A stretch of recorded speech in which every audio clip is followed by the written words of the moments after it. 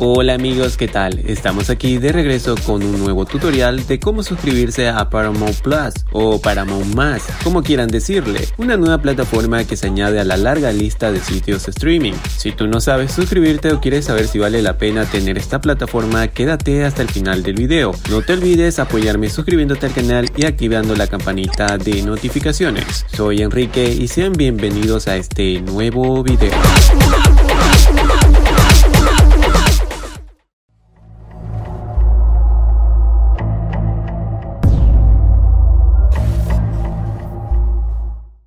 Antes de proceder a la suscripción debes tener un correo electrónico, una tarjeta de crédito o débito. Recuerda que tu tarjeta debe estar activa para compras online. Eso debes consultar en tu banco y obviamente debes también tener saldo. Dicho esto, comenzamos. Entramos a nuestro navegador preferido, escribimos Paramount Plus, registrarse, entramos a la segunda opción. Acá podemos ver los costos, que es aproximadamente 4.99 dólares con una prueba gratuita de 7 días. Recordemos que el contenido varía entre Latinoamérica y Estados Unidos, por lo tanto el precio también. En México el costo está en 79 pesos y Estados Unidos 9.99 dólares. Además nos permite ver en tres dispositivos simultáneamente, así que puedes compartir esta cuenta con unos amigos para reducir el costo. Dicho esto, presionamos en suscribirte y luego en continuar. Colocamos nuestro nombre, correo electrónico y una contraseña para la plataforma. Damos en aceptar y continuar nuevamente le damos en continuar. Acá rellenamos los datos de facturación, nombre, apellidos, dirección, ciudad, provincia, código postal, número de tarjeta, que es el número largo que viene por delante de la tarjeta, fecha de vencimiento de la tarjeta y el código de la tarjeta, que son tres dígitos que se encuentran en la parte de atrás. Además, puedes cancelar la suscripción antes que termine la prueba gratuita y no te hará ningún cargo.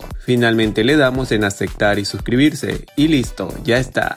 Ahora en mi opinión lo que he visto hasta ahora es que aún no tiene perfiles como Netflix, Prime Video y los demás. En el tema de contenido tenemos obviamente los contenidos originales, además de Showtime, Comedy Central, NTV, Nickelodeon y también este que nunca había visto o escuchado. De entrada podemos ver que destacan la serie protagonizada por Macy Williams, Two Weeks to Live. Además podemos encontrar otras series muy buenas como Dexter, Your Honor, Yellowstone, Killing Eve, El cuento de la criada, iCarly y la exitosa serie de comedia Schitt's Creek. En tema de películas tenemos a John Wick, Misión Imposible, aunque no tienen la saga completa, seguramente por temas de derechos, pero también hay muchas películas más. Además tendrán de manera exclusiva los estrenos de la productora como Un lugar en silencio parte 2, Misión Imposible 7, Actividad Paranormal, Halo y otros proyectos que están en desarrollo como en el caso de iCarly, el reencuentro. En conclusión, creo que le falta mucho en tema de organización del contenido en la plataforma. El contenido es muy limitado. Siento que Paramount Plus fue lanzado solo para no quedar atrás con respecto a su competencia.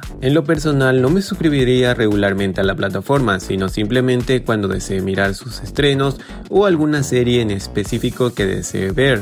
Creo que con tener Netflix y Prime Video es suficiente. Y bueno, también tendremos próximamente Star Plus y HBO Max. Veremos con qué sorpresa llegan y ojalá no nos dejen relegados a los latinos en tema de contenido. Y hasta aquí llegó el video de hoy. Comenta si te suscribirás a la plataforma o si ya la tienes dime qué tal te parece. Además te recuerdo que tenemos los tutoriales de suscripción a las demás plataformas. El enlace estará en la descripción del video. No te vayas sin dejar tu like y suscribirte al canal activando la campanita de notificaciones. Eso fue todo, nos vemos hasta la próxima. Chao, chao.